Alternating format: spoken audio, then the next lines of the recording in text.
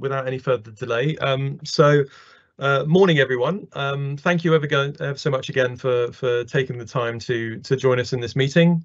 Um, the, the meeting today, the webinar is designing and deploying AI amazing teaching and learning approaches. And I'm hoping this will be the first of many University of London Worldwide webinars. So if you have any feedback after the event, uh, please feel free to get in touch. Uh, my name is Tim Hall. I'm a senior manager in the product innovation team at the University of London Worldwide. Uh, for those of you who don't know about the University of London Worldwide, we're an academic and professional services body that manages the distance and flexible learning programs for our federation members within the Federal University of London. So we have around 50,000 students in over 180 different countries around the world. Within the Online Education Directorate, led by Sam Brenton, the product innovation team sits, so it's the team I work for.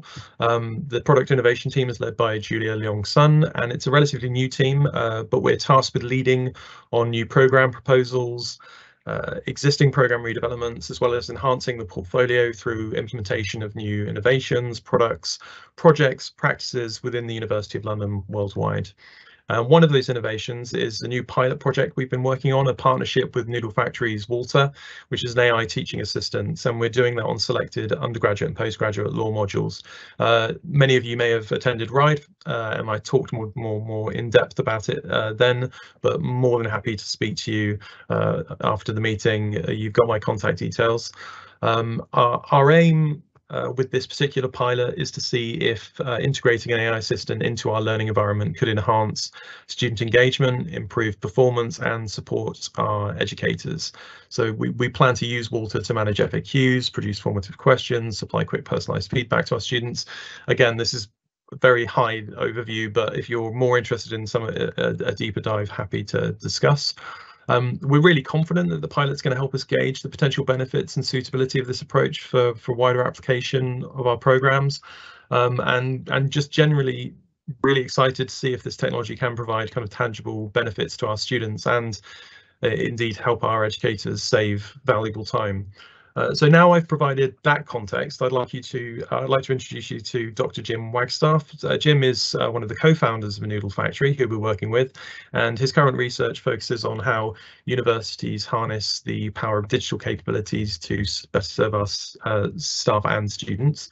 Uh, Jim's going to talk today, as I've said, about teaching and learning approaches that include AI. Uh, the main aim of the webinar is to present ideas uh, and best practices relating to the design and deployment of courses using chat-based learning. Uh, as a pedagogy. Um, you'll see that we have a Q&A open, uh, which I'll be checking throughout. Uh, we will have kind of breakpoints to answer some of those questions. Uh, and for those of you who want to continue the discussion, like I said, we'll be providing contact information at the end of the session. So Jim, uh, over to you. Tim, thank you so much, and welcome everybody. Thank you for joining on uh, on today. It's uh, my evening. I'm coming to you from Singapore, so it's great to join you in your morning, my evening. It's uh, a good time for all of us. Uh, yeah, today is going to be, I hope, an interesting and enlightening conversation, and we will try to make it a conversation um, because this is really a dialogue that we should all be having, uh, especially given that we're six months from the time that ChatGPT was launched and the world changed just a little bit. Uh, today is really about thinking through and looking for opportunities to potentially deploy some different ways of engaging students uh, and saving time for ourselves with these different teaching and learning approaches that we may want to embrace. Um, we'll have a very, very brief look at what we do at Noodle Factory, and I'll just give you uh, the kind of the potted information of, of what we do. Uh, as Tim mentioned, we're piloting with the University of London, and what we provide is an AI-powered teaching assistant. So we have more of an educator-first approach uh, around engaging students. The things that we often measure from a student perspective are the level of engagement, the, the amount of engagement, and what we're looking for is to see are we uh, able to gauge improvements in student assessments. Um, all of that in, in the furtherance of what's called mastery, uh, ensuring that students get into sort of a flow where they're regularly able to score 80, 90% on the assessments that we have in the in the system. And we test to see how that shows up uh, in other work and especially into the gradebook. And we can get into that a bit more if we have time. Um, I should mention that what we're going to do in just the next short amount of time, we often engage in half day and one day workshops where we get very hands on and we actually try to deploy some chat based learning. Um, Tim and I have spoken about that. If there's if there's a sufficient level of interest, we can certainly do that. In fact, we've talked about potentially doing that as early as the 15th of June uh, in London on campus. So uh, if you're interested, definitely reach out and we can uh, extend this conversation into one of those half day or full day workshops. Today, though, uh, it's a bit of an ambitious set of questions that we're going to try to work through. Uh, we're going to try to ask and answer these questions. Uh, number one, especially just as a bit of background, in case you haven't spent a lot of time playing around with Bard or Bing or ChatGPT, we're just going to give a working definition of what is a GPT and why should I care, especially in education. And in that sense, what's the current state of AI in education? Uh, this is a very fast moving space. Um, if you believe the headlines, it's either the best time or the worst time to be in education. The truth is probably somewhere in the middle, and we'll take a close look at that. And then we'll get into the really the purpose for today. Is chat-based learning really a thing? And the short answer is yes. Uh, it's a long-standing pedagogical uh, approach, and give you a little bit of a history lesson on that, and then look at exactly what it is in the context of conversational and generative AI, and how you can consider that uh, potentially bringing that into your own practice. And then we'll talk about some of the near term risks, of which there are many, as well as opportunities. Um, there are certainly a lot of opportunities, but we obviously need to be cautious and, and think through any downside risks that might present themselves. So with that in mind, and by the way, as we go through, you heard Tim say we've got the Q&A panel active please feel free to ask those questions. We'll stop periodically and answer questions as we can. But also after today, if there are questions that we don't have time to get to, we'll make sure to follow up with you and to answer those questions. So very, very briefly, let's define what a GPT is and why you should care. Certainly, if you're like me, your inbox is flooded with information about all of the different capabilities and, and pitfalls of what is broadly called conversational or generative AI. Those two things have become synonymous. They're actually different things. But a GPT, and I'm going to use the examples of OpenAI's GPT-3, which is what was launched back on November 30th, 2022, and now GPT-4. Uh, this is an acronym or an acrostic that really only a developer could love. It stands for Generative Pre-trained Transformer, not exactly an elegant way to it doesn't exactly roll off the tongue but it is very descriptive. And if you just look at what that is telling us it's it is very uh, informative. It generates new content based on pre-trained information. In this case we're largely talking about text-based information or language-based information uh, the english language in the case of openai and it transforms that information into something new based on something that existed previously. So GPT-3 and 4 really just speak to the fact that these are the third and fourth iterations of what's called a large language model or LLM. Uh, in the case of GPT-3, uh, this is information that was scraped from relatively trusted sources on the internet. So think Wikipedia, think open source journal articles, open source textbooks, um, works of literature that are in the public domain, really anything that's relatively trusted that could be used to spot patterns in the way that we use language as humans. And this is a, an oversimplification. GPT-3 as an example, the deep learning algorithms that explored the English English language, about seven uh, seven-ish gigabytes of information, which doesn't sound like a lot, but it's all text. Uh, that these patterns were reveal, revealed through these deep learning algorithms to the tune of about 175 billion parameters. And so the generative part of what's going on here, if we ask the question, well, what exactly is generative AI? Again, it's a term that does serve to describe what's going on.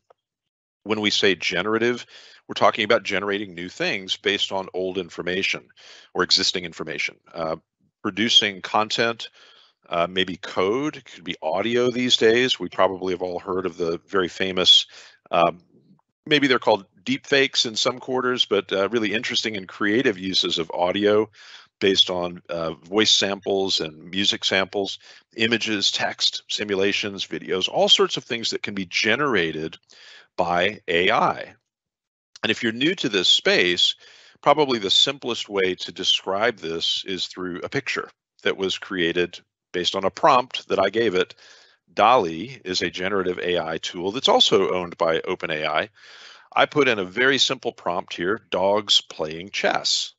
And if you look at that photo, that it's not really a photo, it's an AI generated image. Yes, there is a dog. As a matter of fact, there's another dog that you can't see behind the graphic. It is dogs playing chess. But on closer inspection, it's a little bit strange. Yes, that looks like a chessboard and those look like chess pieces, but they're a little bit mangled. That's kind of the way this, this generative AI works today.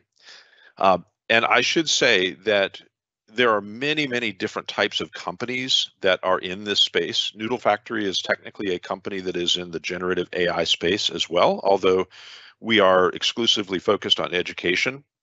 But this is sort of the Wild West right now. Uh, there are thousands of companies that have sprung up over the last, mm, call it two years or so, that are technically in this generative AI space.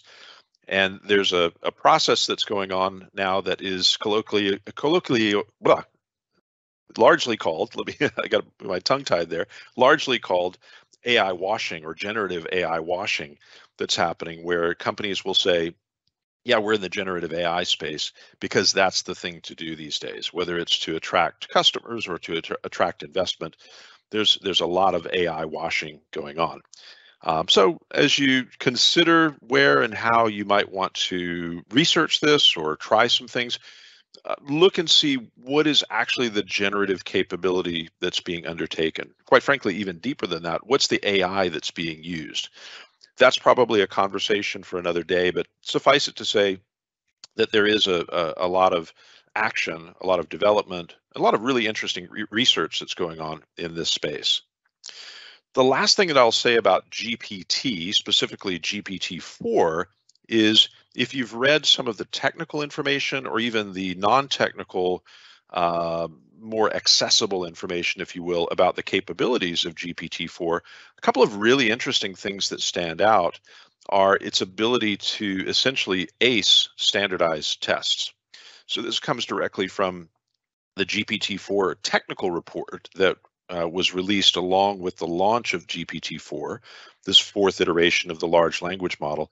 And I just want to draw your attention to a couple of things on this uh, on this chart. Notice GPT 3.5, which is what we got access to back in November, uh, a couple of exams. So the uniform bar exam, which is the exam if you're going to be uh, a lawyer who passes the bar in the United States, you have to pass this exam. GPT 3.5 performed in the 10th percentile, meaning that nine out of 10 uh, pers prospective lawyers who took this exam did better than GPT 3.5. But look at the difference just a few months makes. GPT 4 performed in the 90th percentile, meaning that it performed better than 9 out of 10 prospective lawyers that's probably the most uh, uh, impressive example, the most dramatic example, but this is a very long list. I'm just giving you a short sample of the exams that this uh, this model took. Things like the LSAT, things like the the GRE. So not quite as impressive, but still amazing. And it draws into question another topic that we could spend a lot of time on, which is what is the future of assessment? how do we rethink assessment? How do we get more authentic in the way that we uh, both produce and deploy and allow students to participate in assessments potentially more so as a process of learning rather than simply for a score or a grade. So again, a rabbit hole that we could go down on another day.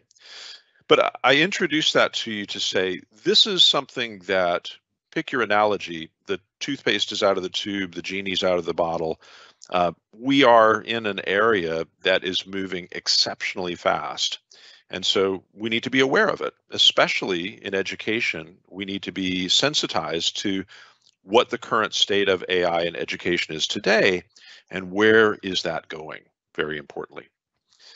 So let me just stop right there and, and see if we do have any any questions just about that basic understanding, that working definition of what a GPT is, because that will lead into some of the conversation we have about the possibilities and chat-based learning as a pedagogical approach.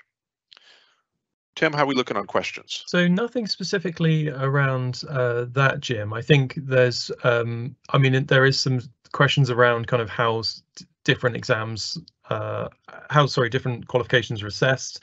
Uh, so, for example, yes. is the bar exam based on MCQs, and obviously, like what kind of impact that might have on uh, the way in which these tools are used uh, to, to, for learners. Or uh, the other one is specifically more about um, the the University of London and and the nature of assessment, uh, the impact that it's having on assessment. I mean, um, if you'd like, I mean, we can speak more more broadly about that if you'd like to. Um, but it seems like everyone who's in the meeting has a general understanding of GPT in, in this. okay. I, I, I'm making a massive assumption there. Okay, no, that's perfect. And I'll just say one more thing about this because I think I'm really passionate about this particular aspect of of AI. I think it's kind of bringing to the surface something that's been bubbling for a while, which is the need to develop more authentic assessments and to be more constructively aligned in education, as particularly you know learning outcomes. Are we are we actually moving towards the right learning outcomes? Are we assessing for learning outcomes? Uh, and so I think it's a healthy conversation. Uh, but I'll give you a funny example from this list. If you actually read the technical report, if you go way, way down on the list of exams that GPT-4 did really well on, one of them was the Master Sommelier exam, which is uh, the, the written exam is uh, very, very technical, uh, dealing with uh, all sorts of growing regions of wines and food pairings and whiskeys. And there's all sorts of things in the exam that you need to know that are very fact driven. But obviously, the one thing that GPT-4 will never be able to do, at least not in, in our li- in our lifetimes, I would perceive, is the uh, the serving the serving exam and the tasting exam. So we're not quite there yet. So, and I suppose that gets into the notion of this statement that. Uh, uh, Lee Kai-Fu made a number of years ago in an interview on CNBC when asked, "Is AI coming for my job?" Well, the good news is that for most of us, AI is not going to replace us, but it is the humans who don't know how to use AI that might get replaced. And so I think the fact that you're here probably says you're one of those people that is curious. Maybe you're looking to implement AI. And the current state of AI in education sort of looks like this. Um, these are short to medium term AI use cases that we could probably go out and right now begin to at least do some research around, maybe do some piloting as we're doing with the University of London. Um, you know, these are roles that could be ripe for automation, uh, not taking jobs away, but providing assistance to educators, uh, specifically teaching assistance, which is what we provide. But if you think about career coaching, um, doing research assistance, and then the tasks that these AIs can undertake, effectively making us superhuman in a way. Uh, you know, being able to take on things like essay grading. Uh, of course, there's a big conversation about what happens to the essay in this sort of uh, generative AI environment. Uh, but doing things like student sentiment analysis, uh, generating knowledge bases. We'll take a, a, a, very quick look at that today. There's all sorts of things that are very time consuming, potentially very error prone when humans do it, things that we may not necessarily like to do, which are ripe for automation. And the cost of doing that, taking on that automation or, or handing these, these things over to an AI is plummeting. Uh, and so that's good news for all of us because I know I, I would certainly like to have more assistance in my day job. Uh, and I would reckon that you would probably like the same. So that brings us to this question of what about chat-based learning? Is this really a thing? And the short answer is yes. So chat-based learning, if you have a look at the literature, and I'd encourage you to do this, it really goes all the way back to the very first chatbots back in the 1960s. Uh, in fact, you can go further back than that. You could go back to the days of B.F. Skinner, who envisioned uh, what he called a teaching machine. Uh, in fact, this this is something that was imagined more. It was a bit more science fictiony back in the 1920s and 1930s, but even then there were educational psychologists who were really thinking about how could we automate the process of tutoring? Uh, these were largely behaviorists. So B.F. Skinner, very famously, is a behaviorist, and so it was about reinforcement learning, and he had had this teaching machine in mind. So you take that with a little bit of a pinch of salt, and you move forward to today. He, he could never have imagined what we have today in terms of the ability to blend in what is called chat-based learning in the literature with our broader digital pedagogy. So just to very quickly define that, so digital pedagogy is also something that's pretty well represented in the literature. Basically, this is about the application of digital technologies in our teaching and learning. So that's a very broad way of categorizing a lot of things that we do. Typically, um, DP shows up in blended learning approaches. And of course, that has been the norm for the last three years. Uh, very importantly, chat-based learning as a subcategory of digital pedagogy also has now its modern roots in constructivist theories of instruction. Um, and this speaks directly to students becoming more self-directed in their learning and effectively taking control of when, how, and what they engage in, largely through conversation, uh, as if they were engaging a human tutor. And to, I guess, call back on history yet again, another uh, behavioral psychologist, uh, Benjamin Bloom, of course, we're all we're very familiar with uh, Bloom's taxonomy, and potentially you're familiar with Bloom's two sigma problem. Uh, Bloom's two, sigma problem, uh, essentially the way that he laid that out, said if we could provide high quality one-to-one tutoring to every student, we would see better results, and that would show up in the form of mastery of subjects. And he did prove that. But the economics of that, the logistics of that proved to be untenable. And when you think about it, that's logical. We don't have enough educators to begin with, much less being able to provide high quality one-to-one tutoring to every student. However, that is potentially what we have today. And certainly that's one of my dreams is to, to change uh, what's often called the unit economics of education, where we can provide better, call it high quality one-to-one tutoring to more students at a lower cost per capita. Uh, and and give more students the opportunity to be comfortable, confident, and successful, and to achieve mastery in the subjects of their choice, and to see that show up in the broader learning environments that they're engaged with. And chat-based learning is a way to potentially make that real. So, what I want to give you some guidance around chat-based learning, some uh, I guess some design principles around chat-based learning.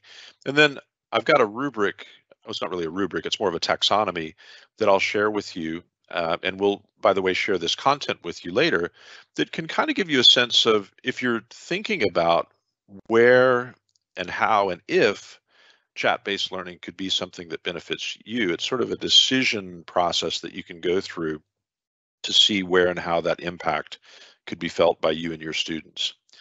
But I think the first thing to remember is when we think chat-based learning, there might be the temptation as a new shiny object just to think about a novel delivery of content, you know, a different way of of having students access content. We need to be a little more thoughtful about how we use chat-based learning. So rather than just replicating content in chat or even replicating the lesson plans that we have in chat, think of this as another tool in your toolkit. And so what is the way that you can maybe in a focused fashion deliver the content potentially that you don't have time to in the classroom? That's a that's a design principle that we'll get into in just a moment. The other thing to remember is that especially now that we've got generative AI tools at our fingertips and more and more purpose-built tools for educators that leverage generative AI, that leverage conversational AI, we need to be really comfortable curating our content via chat-based learning. This is an additional means of communicating. We could also say engaging with our students wherever they happen to be. That could be geographically, but I tend to think of that more digitally. What's the channel that a student might prefer? Is that Microsoft Teams? Is that Google Classroom? Is that their phone? Is that their laptop via a browser? So what are all of the channels that we can curate our content and provide that availability to, to students so that we broaden the I guess broaden the reach that we have is another way to think of it, or broaden the uh, uh, uh, the, the channels of communication to those students so that we have a better than average shot of keeping those students engaged. We all know student engagement, generally speaking, around the world is a problem, and it's gotten uh, paradoxically worse, uh, potentially as a result of the pandemic because of the digital overload that many students have felt uh, after having been online for so long.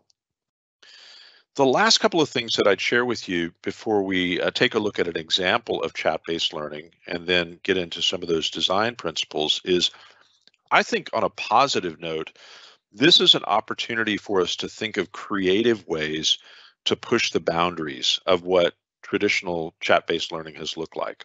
And I'm not talking about all the way back to the 1960s and 70s. I'm talking about the fairly recent days of the early 20, uh, 2010s, you know, right up to the pandemic, thinking about the use of chat-based learning and leveraging tools like maybe ChatGPT, maybe Bard, uh, or using tools that incorporate different types of generative AI to help students collaborate maybe to moderate student activities, to allow them to do different things and express creativity, uh, to move beyond some of the maybe mundane work that uh, potentially was expected in years past, but now we've got the ability to try different things and use generative AI as a part of our teaching and learning. It's been said, and I know it's a little bit of a cliche these days, but we're kind of experiencing our calculator moment. Um, and I'm showing my age there, but uh, maybe it's for you, it's the spreadsheet moment. Uh, whatever that techno, or maybe it's the Google moment, whatever that technology was that when you were coming up and potentially when you were a student disrupted teaching and learning. We're, we're going through that again. And it's, it's not an overstatement or an exaggeration to say that November 30th, 2022, when ChatGPT was released to the world, it really did it was one of those threshold concepts or threshold moments. It will never be able to unsee that. We'll never be able to see AI in exactly the same way again because of that moment in time. Now, let me shift gears a little bit. And this is by no means uh, a commercial break. I'm not trying to do an advert for Walter. Uh, but just by way of example, I wanted to just introduce you to what we're piloting with the University of London. So Walter is our avatar here, um, and this is our chat-based learning environment. It's a platform that starts with the educator and incorporates the engagement with the student. And I'll give you some examples on how we're doing that. Um, one question that often comes up is why the noodly hair? and what's the name Noodle Factory all about? Um, in many cultures, the noodle is uh, synonymous with brain or thinking. You might have heard people say, uh, let me noodle on that. Uh, and this occurs in English language, it occurs in German language. Uh, but yeah, that's that's where we're going for there. Is what we're going for there is the the thought process and and generating new thoughts, generating new ideas. So Walter, um, what Walter is able to do is from a student perspective, we really focus on student engagement and learning. So here we are trying to replicate using existing content that one-to-one AI tutoring or one-to-one tutoring that might occur uh, between a human and a student, but to moderate that using AI. So here students can go in, they can uh, explore content, they can go down guided tutorials, uh, which include things like videos and other rich media. Uh, but they can also just explore. Uh, so students can ask questions. They can also extend that into formative assessments. Today, we do tend to operate in the realm of formative assessments rather than summative assessments. And so here students can uh, take these formative assessments and use them in the process of learning as many times as they would like. Uh, we have had some of our universities that we work with engage in research around this. Uh, over a period of, uh, of a few terms, and there are measurable uh, positive outcomes that they have seen. These are peer-reviewed studies. In fact, uh, you can we can send you a couple of these research papers. One of them was an action research paper applying chat-based learning, uh, really to test to see does it improve student engagement and uh, student performance in the in the form of assessments. And the short answer is yes. Limited amount of data at this point because it's a fairly new space, but glad to share with you the data that we do have uh, via that uh, that study and another. Um, from a teaching perspective, so I mentioned we really do start with the educator. And so here, the metric that we're focused on is primarily time savings. This is a self-reported metric. We don't really have a way to calculate time savings automatically. However, here again, we have consistently seen um, you know, a dozen hours or so each week per educator that's saved, largely from offloading things like answering FAQs. Uh, a lot of that is on Slack or Teams or WhatsApp. Uh, and, and, the big one is marking of assessments, marking of formative assessments. There's a paradox that when we talk about formative assessments, generally students want more, but the more formative assessments we introduce to students, the more hours that we have to spend providing feedback on those formative assessments. And so this gives you the option even where the student is generating open text answers or maybe creative responses to questions, they get instantaneous feedback on that. So we can look at that a little more closely in just a moment. The, the origins of these tutorials, these formative assessments, it's all in the content that you're already using. So I'll, I'll, give you a quick example of that. So I was playing around earlier today, uh, and what you're seeing here is the student experience in a browser. And I took uh, a document of mine that I've got on research methodologies, and this is this is actually a course that I'm putting together right now. And this is just a very brief overview of different research method methodologies. And what I'm going to do is I'm going to drag that in, that document. It's just a Word document and you can use any word, uh, any text-based document, any website, and you can see really quickly, I get a summary of that information. If that were a longer document, I could section it off, but I'll go ahead and just do the whole document. And now I want to get uh, a clean summary of what's in that document. So there might be, you know, stray information in there. There might be footnotes that I may not necessarily want. I just want the core information in that document. And here I can specify whether I want a brief summary, a balanced summary. In this case, I want a detailed summary. And there you go. I've got a I've got a summary of that document. I could take, as you can with many other tools, you can take multiple documents and summarize those. If it was a lecture transcript, I could summarize that, clean that up. And now I'm ready as a student to come in and begin asking questions. You know, a common question here, what's the difference between phenomenology and ethnography?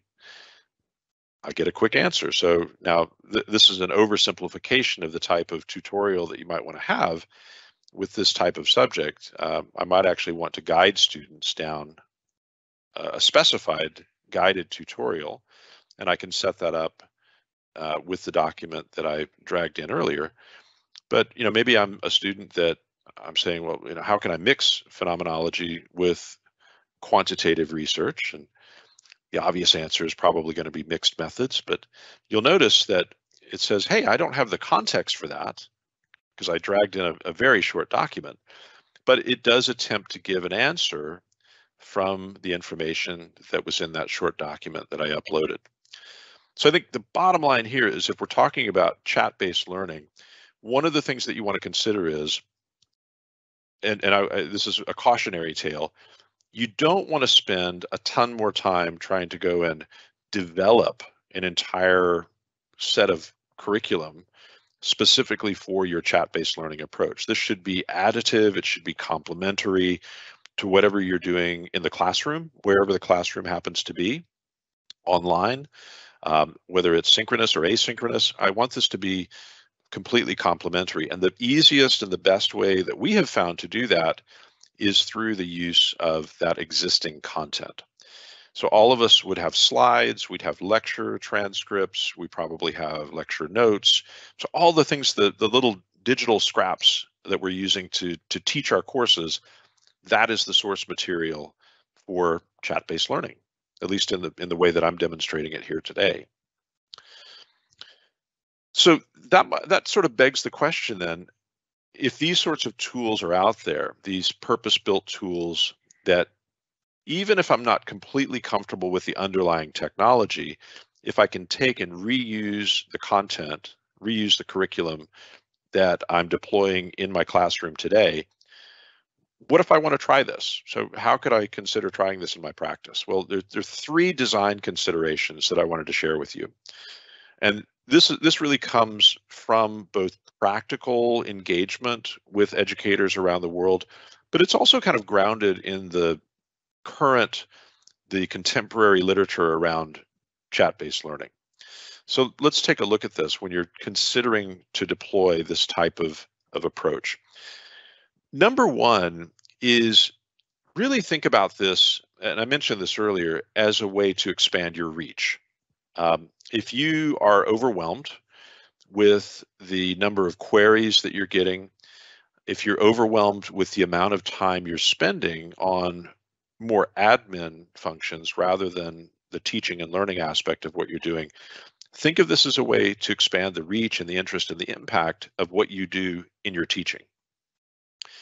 On the flip side, with the student, this is potentially a way to really uh, engage and increase the knowledge, the understanding, and the application of learning by students. That does require some thought, so that's not as simple as dragging and dropping.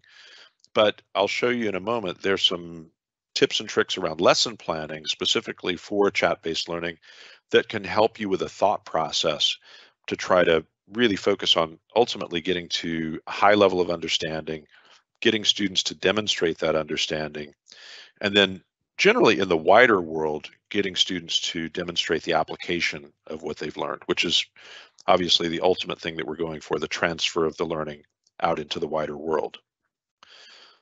Design consideration number two, and this is a touchy one, it's a tricky one, but there's already too much content for us to cover, especially if you're using a textbook and there's not enough time to cover it.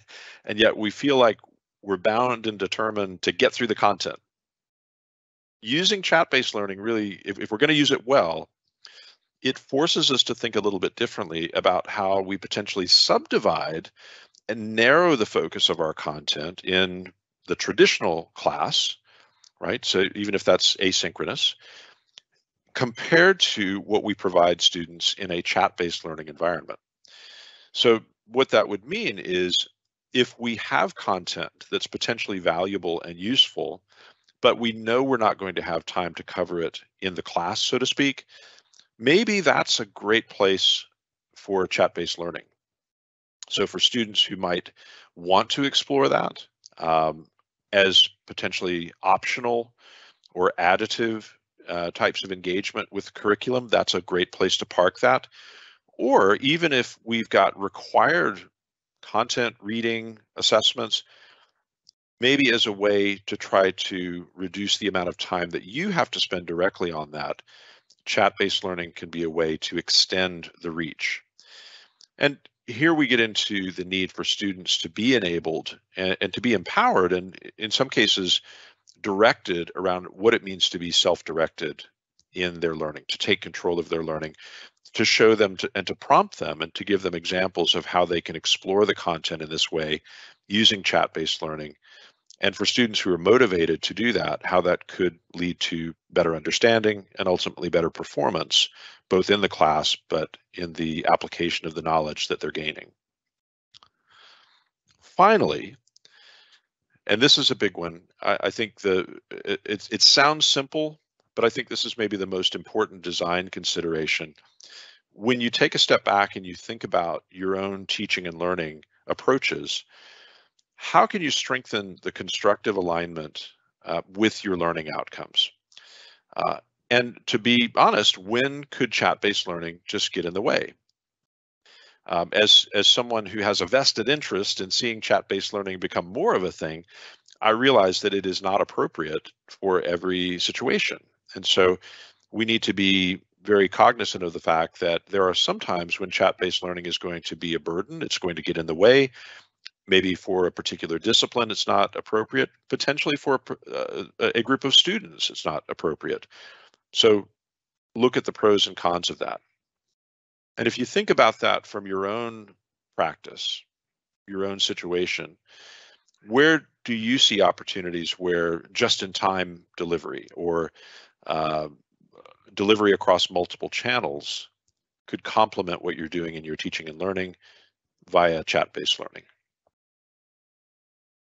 Okay, now th that's a ton of things to take on board in an unfairly short amount of time. Uh, those of you who might have joined before we uh, got into this subject, uh, I mentioned right at the outset, this is this part of the conversation is actually something that we get into typically in a half day workshop or in some cases a full day workshop. Uh, if there is sufficient interest, we can actually get hands-on. You can build your own chat-based learning approach in a workshop, and uh, that's something that Tim and I have talked about potentially doing on June 15th. Um, the timing around that might be a little bit tricky, but if you're interested in doing something like that, please do reach out to Tim and let him know, and we can certainly arrange that. And we, we would do that at uh, probably in a hybrid environment, but for any of you who are in the London area, we could do that uh, on campus on June 15th. There are a couple of things I'm going to share with you um, post webinar today that uh, you might find useful if you're thinking about chat-based learning. One of them is a much more detailed um, chart that will help you to think about the design considerations of chat-based learning. And it's meant to try to get you to assess the degree of difficulty in repurposing content and repurposing your teaching and learning approaches, and then the impact. So the way you read this is, so knowledge acquisition and I guess you could say this roughly equates to a portion of Bloom's taxonomy. Knowledge acquisition is pretty easy. Uh, application is significantly more difficult, but the impact, if we get that right, is significantly higher. So as you run your eyes down that list, things like personalization, uh, giving students the opportunity to develop mastery in a subject, so these are all really standalone areas that you can discreetly pursue in chat-based learning environments, but they do have sort of a knock-on effect in a positive way. The more of these areas you're able to thoughtfully plan into your chat-based learning environment, the more benefit students will get and the more likely they are to come back and re-engage with that content and that will show up in the broader classroom and broader performance. Okay, we've got about 10 minutes left. Um, let me just stop right there because the last thing that we want to cover is to talk a little bit about the risks, but also talk about maybe some short-term opportunities and to give you some resources uh, before we end today. But Tim, let me just check and see if we yeah, have any questions. We we do. We've got we've got quite a few, and they they're they're quite uh quite wide ranging. So okay. I mean, if you think this might be a nice opportunity to kind of go through some of them and and give your your feedback, I'm not expecting you necessarily to be able to answer all of them because you know I mean some of them are quite you know they're they're big big conversations to have. But I suppose um there are some questions around kind of the the how what their impact might look like um, on different professions, which again I think is you know kind of an ongoing subject. Some professions will be more impact impacted than others, and I think uh, in in ways that you know we haven't predicted. I think um, right. so. Going for another question, um, how do we motivate students to learn content when content can be retrieved? Uh, what will we be assessing? It seems that it's an opportunity to assess, um, but understanding uh, without kind of changing assessment could be a big challenge. Uh, you know, what, as as this becomes more part of students and and indeed you know everyone's lives, uh, what are going to be the sorts of skills that need to be as, assessed and and and strived for, and you know, will they change? Obviously, that's a big one. Um, you know, uh, I, I, suppose you know this this kind of ties into it about how uh, some there there could be a loss of skills um, when there's reliance on on on AI, and you know, can we can we really truly say that it will provide a better experience? You know, a, a good example would be sort of translation, for example. Mm. Yes, so I've got a few more, really, but I've, I've just really important. so I'll let you answer those, and then I'll move on. Yeah, I think I've so I, let's consider those because all of those are both challenges, but they also represent opportunities to do some things differently. So maybe let's talk about those in the context of uh, maybe even short-term experiments or research or uh, little trials that you might want to do to think about each of those things. Um, uh, let me come back to that in a moment because I, I, think I'll tee that up in terms of the opportunities that we've got. Um, if we very briefly just hit on some of the risks, again, this is a topic that we could spend the entire hour on, much more than that, as a matter of fact. But I will say, you know, one of the things that we've got right now that is quite concerning is there is a significant misalignment of incentives. And this is not just the profit incentive that many of these companies have, it's the incentives that we have in education too. So it's maybe in a positive way, thinking of it glass half full, it's a chance to rethink the alignment of incentives that we have. And I'm, I'm going to use an intentionally extreme example of this, which I'm sure none of you fall prey to, but in some schools, I'll just put it that way, there there is the incentive to go and teach to the test, and the incentives are aligned around student marks. Uh, that's an extreme example, but if our incentives are aligned there, then AI might only accelerate that misalignment of incentives. So the, the misalignment there is clearly that we're not assessing learning, we're assessing the ability to recall information. And that my, my fear is specifically there is that for a period of time we may fall into that trap where we continue to uh, assess students ability to recall information when this is a real opportunity to think about what is that authentic assessment that allows us to assess whether or not learning has occurred. Um, and i will be the first to admit that becomes very difficult in this type of a space. So where, where we've got the ability to go and generate now text, but in the future, audio, video, I mean, audio is already here, but really credible video, um, other types of assessment, authentic assessment that we might ask students to do. If that can be generated by an AI, we have to find some sort of middle ground. I don't think it's as easy as saying, let's go back to pencil and paper let's do everything in a proctored environment in an exam room. It's i mean that's that's not the direction that we want to go. What is the innovation that maybe the ai itself can allow us to undertake in order to to make that a reality? And if you just focus in on education this conversation is happening in every sector. So education is just one of the types of conversations that are hap- happening. Um, if you're interested in some of the topics around this, I, I, do have some resources that I would recommend to you. I think if you just want to go and do a search on AI safety, this is a topic in the literature that is exploding uh, for good reason. And so if you go and look at the topic of AI safety, it really cover, covers a wide range of issues and opportunities if you would like to take a look at some of the resources that are more in the business press, here are a few that I have found really helpful. Um, and when I recommend these, I might run the risk of sounding like an AI skeptic. Clearly, I'm not because I'm in this space, but I'm an AI realist. And so things like rebooting AI, uh, Gary Marcus is somebody who has developed AI platforms, and he takes a very sober look at what in all sectors we need to do uh, related to AI. Uh, Vaclav Smil, Smil has a great book, uh, not necessarily specifically around AI, but it really just it gets into what's happening with a lot of the underlying technologies that we're becoming reliant upon. And speaking of that, the alignment problem is an excellent piece of work that talks about the need to realign incentives. And then, ironically, probably one of the best things that you might want to read is written by Sam Altman, who is the CEO and co founder of OpenAI. Uh, this was written a few years ago, but it's his kind of manifesto on how can we introduce AI for good. Um, Now, I think the billions of dollars that Microsoft has invested in OpenAI could have shifted his opinion a little bit, but it's it's a very good starting point to understand some of the problems, but also opportunities related to AI. Here's the last thing that I'll share with you just in terms of opportunities, kind of going back to some of those questions.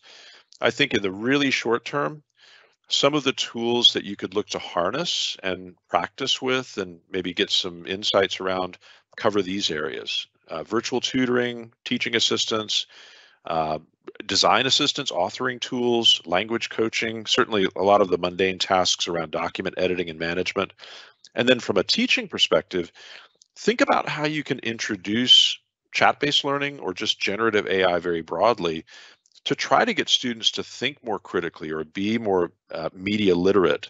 Uh, maybe use this as a different type of flipped classroom approach, engaging in Socratic dialogue, having the AI drive the Socratic dialogue. So all sorts of different things that you can do. Collaboration. Uh, so this is a, a, capability that we've recently introduced, an AI moderating group study promoting collaboration among students at a project level. So lots and lots of things that you can do here. We're That's out been- of time. Oh, yeah, uh, sorry, I was going to say that's been really, really fascinating. I really appreciate you trying to kind of get as much in as possible. Um, really, really appreciate it. There's a, there's a couple of kind of questions um, that I just want to kind of address really quickly off off, off the bat because uh, but but what I will say to everyone is that you know we this is an ongoing discussion and I think the hope would be that we'd have more events where you know we might have a more of a, a discussion based approach to this. But I, I think thank you for again for for coming.